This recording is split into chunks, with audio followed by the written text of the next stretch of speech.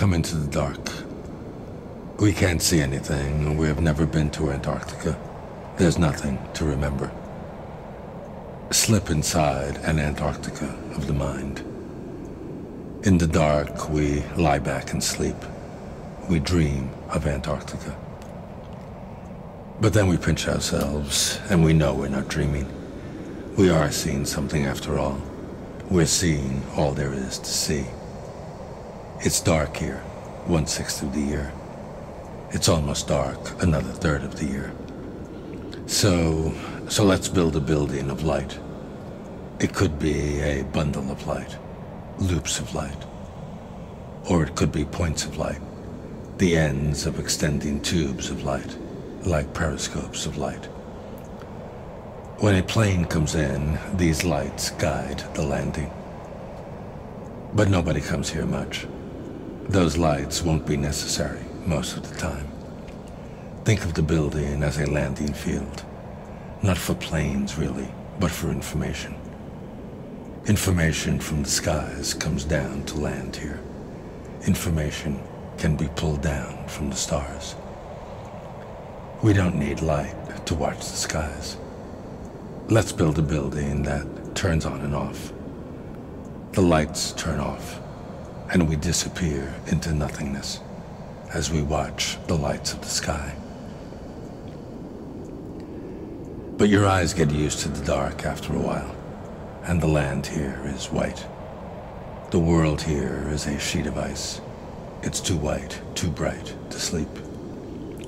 Think of this world as a white sheet of paper, a blank page. Get past dreaming and doodling. We can use that page to make fictions on, for one thing, and to make calculations on, for another. So, so let's start again. Come out in the snow. Come out and play in the snow. Not snow, really, but snow after the snowfall. Snow as the hard, implacable fact of ice. Surf the ice. Slide and glide over the ice. The building on stilts is dead. There's no need for telescoping supports. No need for the building to rise over the ice as the ice accumulates. Long live the building that rides the ice. Long live the building that floats. Let's build a building that is a balloon. A balloon that is a building. Let's build a building that rolls with the punches. It's a balloon within a balloon, a sphere within a sphere. As the outer sphere turns and shifts as it rolls over the ice, the inner sphere remains stable, horizontal. Now that we've gotten the building rolling, there's no stopping it. The building splits like an atom. The building floats out of itself. The building separates into a complex of buildings. Let's build a city of balloons. Sometimes the balloons roll apart from each other, like space capsules, like personal spaces. For passage between them, a tubular bridge telescopes stretches from one to the other. Let's build a city of molecules. Sometimes the balloons come together, bump into each other like ships in the night. Each balloon is a shapeshifter. One swells while the other shrinks. When the breaking point is reached, each balloon breaks to make passage between them. Let's build a city that lives like a virus. Let the virus combat the health of the ice. Step back for a moment and survey what we have from afar. In the dark, on the snow, we're building balloon buildings lit from within. When one balloon building melds for the time being with the other, the colored lights of one swirl through the colored lights of the other, and vice versa.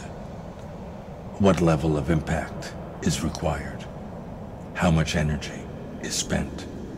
Think, analyze, diagram, calculate. But we're getting woozy. Our skin is numb. Our muscles and joints are numb. Our minds are numb. It's too cold to think here. Let's begin again. Brave the cold.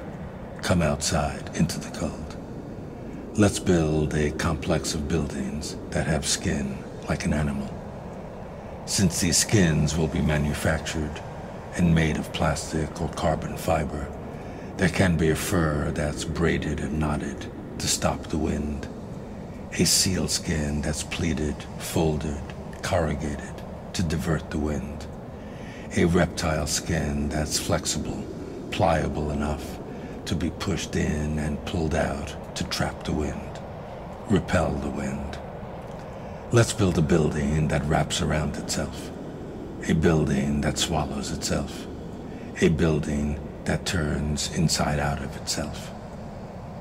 Fixed within frost, in the face of the wind, we go into the buildings and live as if, in the middle of a raging ocean, we were inside the belly of a whale. The building is like a glow inside a mountain, a secret world inside the mountain, undetected from the outside. Each room is a different kind of light, a different color of light. It's the light that makes the room, shapes the room. The room doesn't need walls to separate itself. It's the light that separates the room. We walk from room to room from hard light to soft light, from still light to variable light, from one color into another. Once our work is done for the day, we have some time to relax. The light is composed of images. Just as with audio speakers surrounding us, we can be in the middle of music. We can be here in the middle of a movie.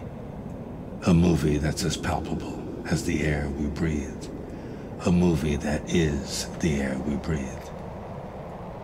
Instead of being entertained, we have entertainment slipped inside our skin, instilled into our bones. The air here is heated in such a way that we can float in the air, like the floating building we're inside of in the middle of Antarctica.